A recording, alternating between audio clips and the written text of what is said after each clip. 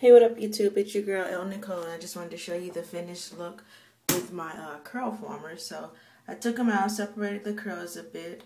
Um, I had to stop myself. I found myself being used to having like really big fluffy hair. I haven't worn, um, you know, natural hair for a while now. So when it's like close to the head and tame, that feels a little weird to me.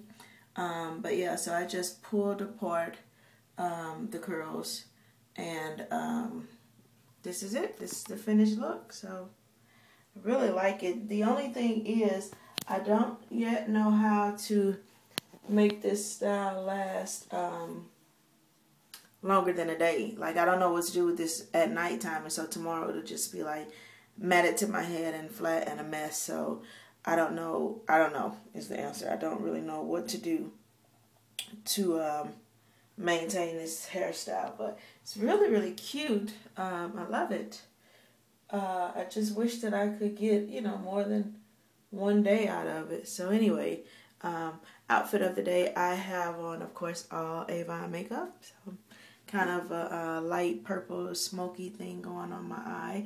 Um, and then this necklace here I picked up a few weeks ago, or almost two months ago now. Um, I went to Hawaii and I got this, which is amazing. Um, I think I paid like $12 for it or something like that. And then I have on a purple kimono dress from Target, $15. So I just have that on. I have a camisole underneath because it's kind of a deep V and I'm not trying to have my girls on display. Um, and then again, I've got on my um, barefoot traps. Just some comfy little flat shoes for the summer. And that's it. This is my Friday look. And I'm running late for a meeting, so I will catch you guys later. El Nicole out. Happy Friday. Out.